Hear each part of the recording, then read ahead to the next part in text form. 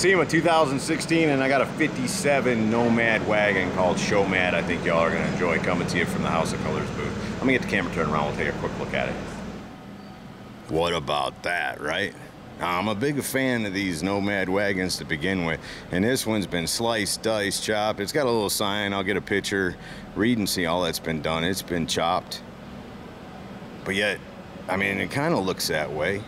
But they kept everything in proportion, and uh, Oh, just a really nice job all the way around on this thing, man. I'm a fan of these things, like I said, to begin with, but these boys nailed this one. The color combination is just gorgeous. A little shot from back here. Even put a little bit of that on the back side of the door.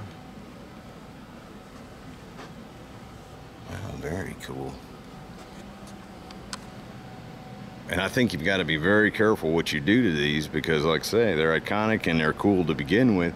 And you get in there and start slicing, and dicing, and cutting, and it wouldn't be too hard to screw the whole thing up. But no, they did it. Uh, they did it right. To my taste, at least. I'm sure there's gonna be somebody to argue me, but you know, I really like that nose. I like the grill. Nah, I wouldn't change anything on this one. I dig it just the way it is. Nice job on the interior. I don't know what that metal effect's called on the dash, but I like it. No, that's really nice. There isn't anything I'd change on this one. I like that console. It runs all the way through. I like the colors that they chose. It accents the outside really well. Oh, like, look at that. It's got the emblem in the middle of the steering wheel, but it's... I don't know how to explain it. It looks like it's encased, you know? Wow. No, wow, dude, what else do you say? Way cool. I mean, I'm a fan of these wagons to begin with, but yeah, they did this one. To my taste, I like it. I wouldn't change a thing. LS7 under the hood. But again, I like what they did. I like the intake. Just like say, taste, tastefully done.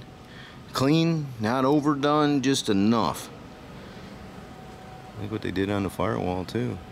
I love them they're not valve covers, coil covers, whatever you want to call them. I like what they did there. And then the motor's kind of like a bronzish orange. No, nice job all the way around. And then it's got an intake on the hood that it must function because so there you go from uh, SEMA 2016 and 1957 Nomad wagon from House of Kolors. Hope you've all enjoyed it. See ya.